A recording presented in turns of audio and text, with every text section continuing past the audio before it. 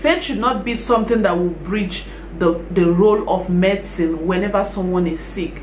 Medicine is now there to save life. Hello everyone and welcome back again to the channel. How are you all doing hope you all are good. Hope you all are fine. So we are putting a clear demarcation between faith and medicine today. You know persons are trying to bring these things together faith and medicine. And these are two different things that although they work side by side but it should not be brought together.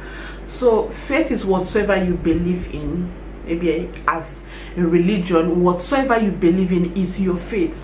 Why medicine is something that we give to maybe a sick person to regain wellness or something that we take to prevent infection and disease generally? 20 to 30 percent estimated death in kids is as a result of parents or guardians trying to adhere to faith.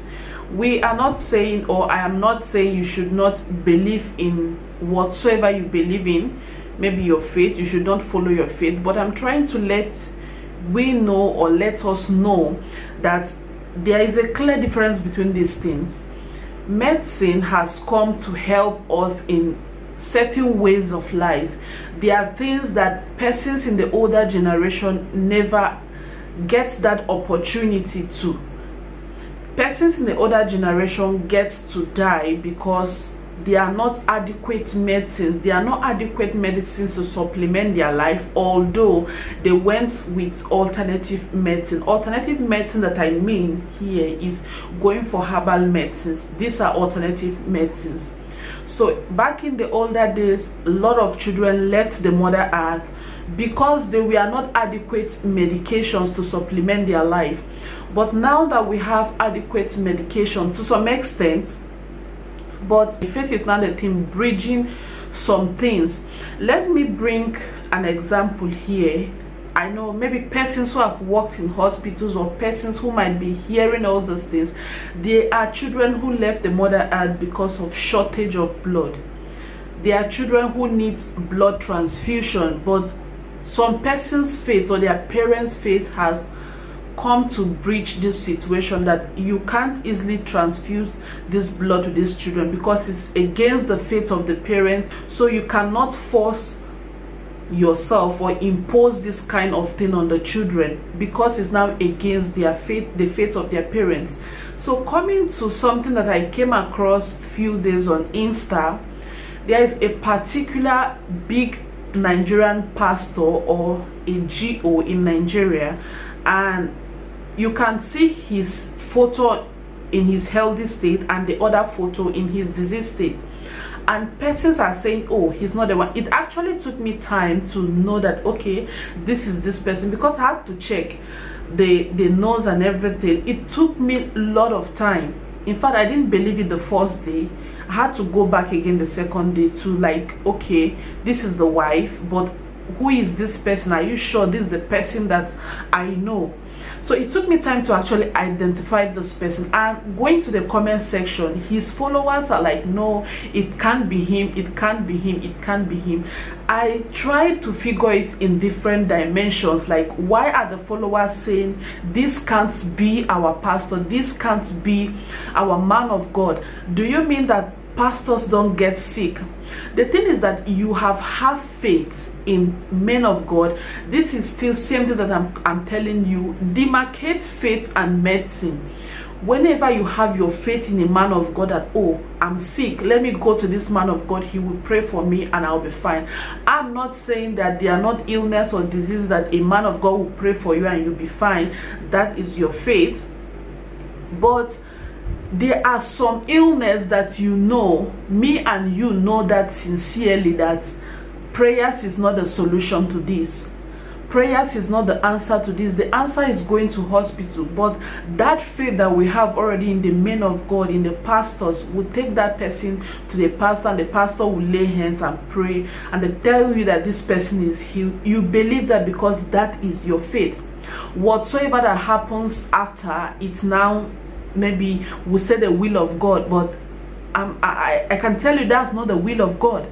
Because there are some illness that are are meant for you to go to the hospital not you going to prayer places. I'm, I'm not saying don't go to prayer places. So coming to the place of this pastor coming back to what i'm talking about concerning this pastor a lot of his followers are saying oh this is not our pastor. This is a pastor that prayed for us. We get healed of stroke of this of that or that.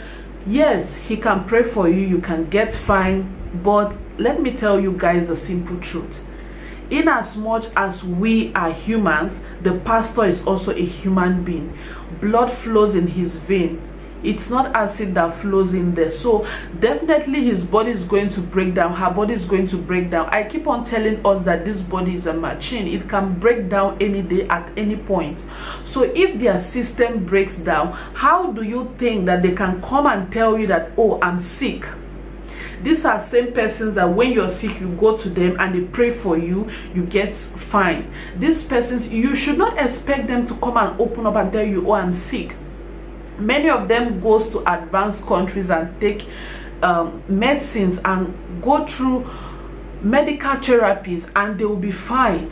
But we we believe in them by them laying hands on us and we'll be free.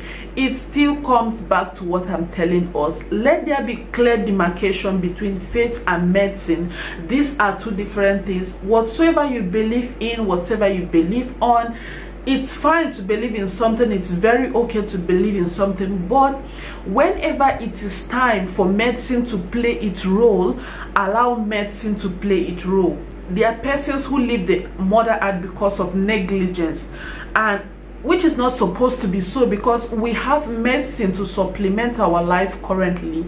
Unlike back in the days where there was not lot of medicine and they believe in their faith then and also alternative medicines which alternative medicine help them to some extent but now we have adequate amount of medicine adequate amount of medical therapies but we still believe in our faith i still want to tell us that faith plays its own role medicine plays its own role you should not believe in pastors I'm not telling you don't believe in your pastor. I'm not telling you don't believe on your imam. I'm not telling you to not to believe on your herbalist or some or anything.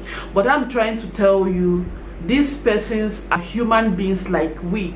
They are human beings like you they are human beings like me. Their body can break down anytime and they can go for medicine they can go to hospitals and get themselves treated.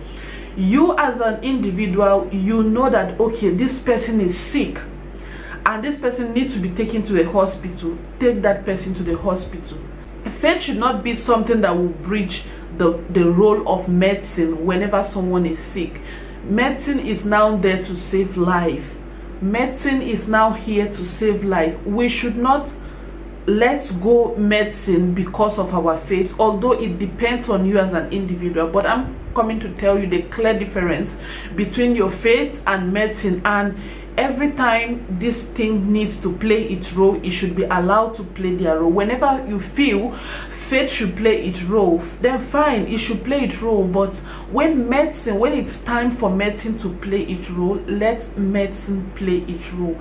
It is very very important. And we should have this clear difference between everything. Men of god get sick women of god get sick. Prophet and prophetess they all get sick even you as a human you get sick. So whenever you're sick you know that okay this at this point i need to go to the hospital. Please do go to the hospital avoid okay story that touches the heart by saying this person's pray this person pray for me and i will get fine. It's okay they will pray for you and you get fine but whenever it's time for you to take medical advice please do.